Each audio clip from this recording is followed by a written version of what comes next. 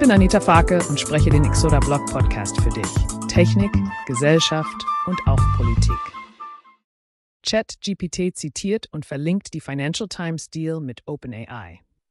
Industrieführer treffen Abmachung. ChatGPT unterstreicht und verknüpft Financial Times. Industrieführer treffen Abmachung. ChatGPT unterstreicht und verknüpft Financial Times.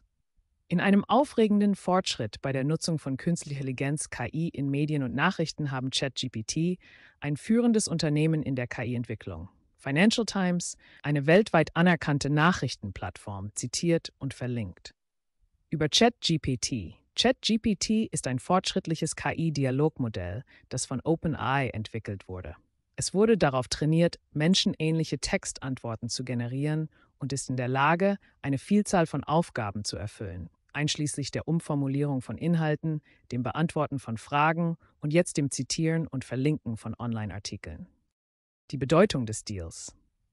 Der Handel zwischen ChatGPT und der Financial Times ist besonders bemerkenswert, da er das erste Mal ist, dass ein KI-System die Erlaubnis erhalten hat, Inhalte von einem großen Medienunternehmen zu zitieren und zu verlinken.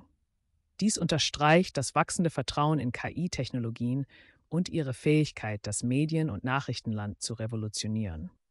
Das Vorgehen ChatGPT ist jetzt in der Lage, Artikel von der Financial Times innerhalb seiner Dialoggenerierung zu zitieren.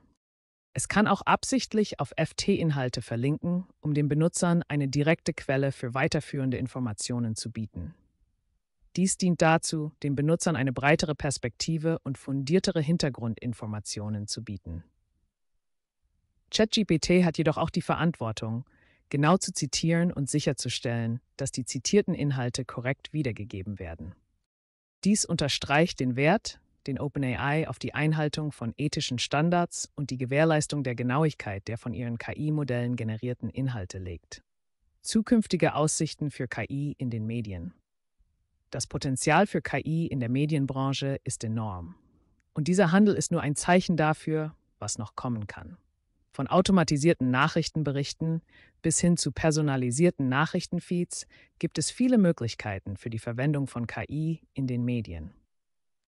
Allerdings gibt es auch Bedenken hinsichtlich der Genauigkeit und Ethik dieser Technologien. Daher ist es wichtig, dass Unternehmen wie OpenAI und Financial Times weiterhin zusammenarbeiten, um sicherzustellen, dass diese Technologien verantwortungsvoll eingesetzt werden.